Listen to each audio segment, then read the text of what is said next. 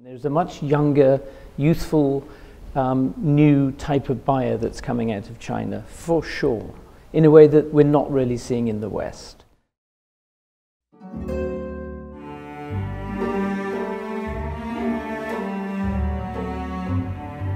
In the early days, um, all of our buyers were European or American or Japanese primarily.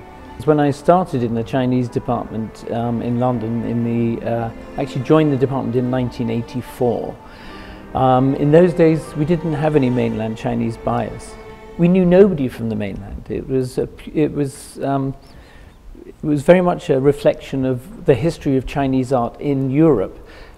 Um, the British have always loved Chinese ceramics and Chinese works of art. We've been collectors for hundreds of years.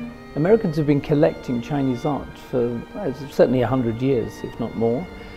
And um, yeah, what, what started as a, a purely European sort of market has now completely changed to a very Sinocentric uh, marketplace. And so, and that's happened very quickly over what the last 10 or 15 years, I suppose.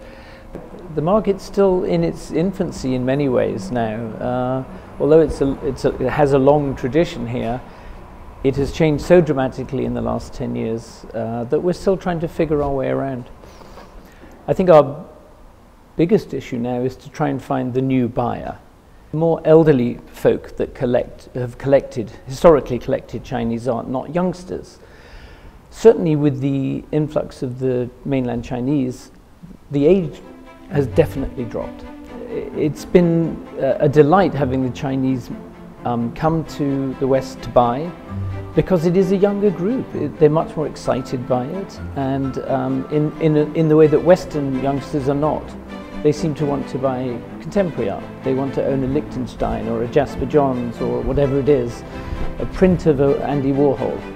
They're not really looking for a Qianlong, you know, uh, white jade um, owl or, or uh, a beautiful piece of ceramic from the Sung dynasty, a lovely quiet piece of Jun.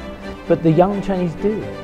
So they understand intrinsically what it was the potters were trying to do in a way that I think in the West less so. So there's no question that the youngest buyers um, are, the, are the Chinese at the moment, there's no question. And so that's a really fantastic sign because you want you want it, the, the market to continue, not to die off. And I sell a lot to, uh, to the Chinese trade because um, this is a, fine, a great market for them.